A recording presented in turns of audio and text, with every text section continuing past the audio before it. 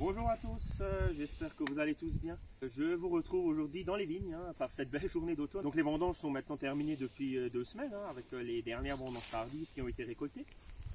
Donc notre maître de chai et nos cavistes hein, s'activent en pour réaliser des vins de qualité.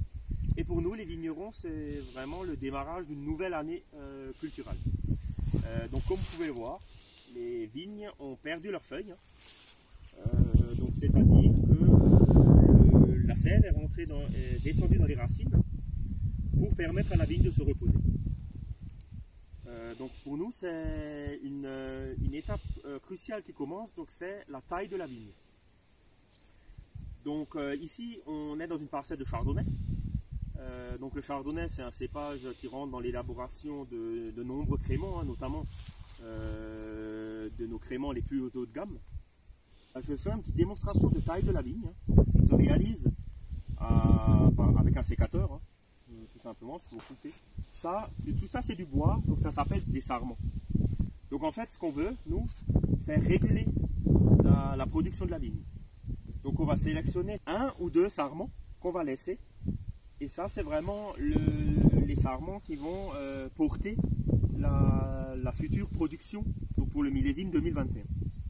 Donc on va également laisser ce qu'on appelle des coursons. Là, en quelque sorte, on prépare déjà le millésime 2022. Car le courson va porter la baguette que je vais sélectionner l'année prochaine. Également très important, quand on laisse deux baguettes, il faut toujours veiller à ce qu'on équilibre le pied. Donc on veut deux flux de sève. Ah, Donc là, on regarde la, la baguette, elle est verte.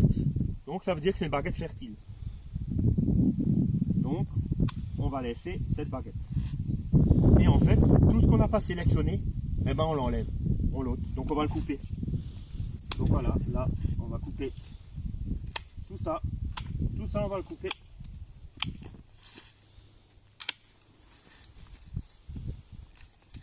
Voilà. Et le pied est taillé. On a les deux, belles baguettes. Un petit courson qui va nous servir pour l'année prochaine.